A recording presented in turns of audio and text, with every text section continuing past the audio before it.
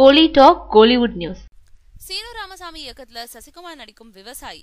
குடல் நகர் தென்மேற்கு பருவக்காற்று நீர்ப்பறவை இடம்பொருள் ஏவல் தர்மதுரை ஆகிய படங்களை இயக்குனவர் சீனு ராமசாமி இதுல தென்மேற்கு பருவக்காற்று இடம்பொருள் ஏவல் தர்மதுரை ஆகிய மூணு படங்கள்லயும் விஜய் சேதுபதி ஹீரோ இடம்பொருள் ஏவல் படம் மட்டும் இன்னும் வெளியாகல. சீனு ராமசாமி கடைசியா இயக்குன தர்மதுரை படம் ஓரளவு வெற்றி அடைஞ்சது. இந்த படத்துக்கு அப்புறம் மாமனிதன்ற படத்தை இயக்க இருக்காரு.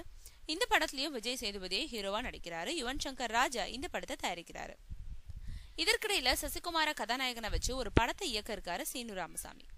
இந்த படத்துல சசிகுமார் விவசாயியா நடிக்க இருக்கிறதாகவும் தகவல் வெளியாகி இருக்கு. தற்போதைய சூழல்ல ஒரு விவசாயி எதிர்கொள்ளும் பிரச்சனைகளை மையமா வச்சு இந்த படம் உருவாகுதான். படத்துக்கு இன்னும் தலைப்பு வைக்கப்படல. விவசாயின்ற தலைப்பு பரிசீலனையில இருக்கிறதா தகவல்கள் அடிப்படுது.